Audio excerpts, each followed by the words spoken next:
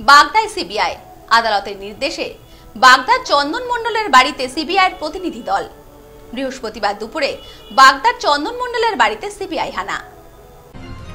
বাগদার চন্দন মণ্ডলের বাড়িতে সিবিআই হানা।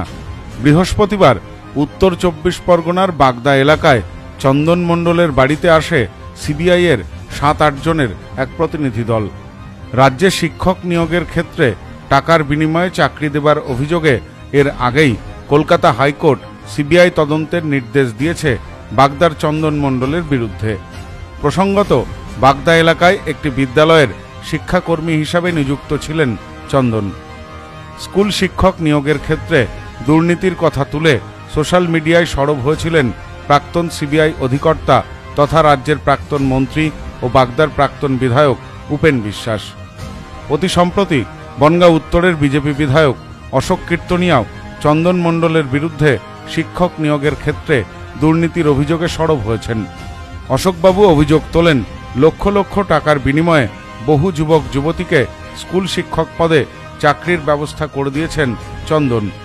যদিও এসব অভিযোগ ওঠার পর থেকেই আচমকা বেপাত্তা হয়ে যান তিনি।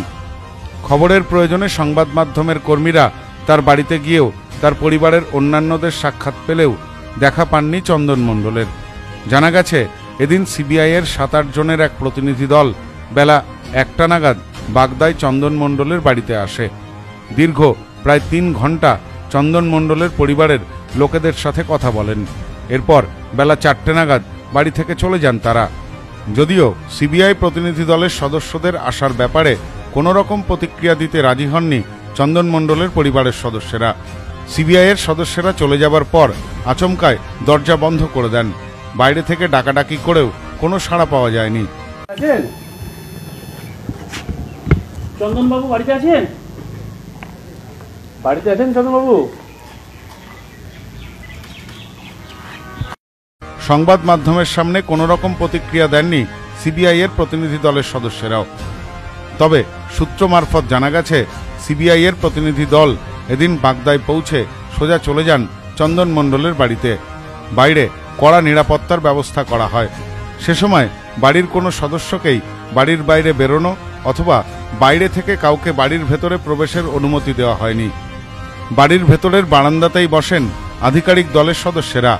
নানান বিষয়ে খোঁজখবর করার পাশাপাশি চন্দন কোথায় রয়েছেন সে ব্যাপারেও জিজ্ঞাসাবাদ করেন বলে সূত্র মারফত জানা গেছে। স্থানীয় সূত্রে খবর, এলাকায় সাদামাটা জীবনযাপনে অভ্যস্ত ছিলেন চন্দন। ইদানিংকালে বাড়ির পাশে বড় করে কালী পুজোর আয়োজন করতেন তিনি। সেখানেই পুজো উপলক্ষে প্রচুর জনসেবামূলক কাজ করতেন। এলাকার মানুষের দাবি, যারা চাকরি পেয়েছিলেন, তারাই নাকি চাঁদা দিতেন পুজোর আয়োজন করবার। রাজ্য জুড়ে শিক্ষক নিয়োগের ক্ষেত্রে দুর্নীতির অভিযোগ সামনে আসার পর দুর্নীতিতে নাম জড়ায় চন্দন মণ্ডলের। এসবের মাঝেই কলকাতা হাইকোর্টের পক্ষ থেকে ঘটনায় সিবিআই তদন্তের নির্দেশ দেওয়া হয়। হাইকোর্টের নির্দেশে এদিন চন্দন মণ্ডলের বাড়িতে পৌঁছায় সিবিআই এর প্রতিনিধি দল।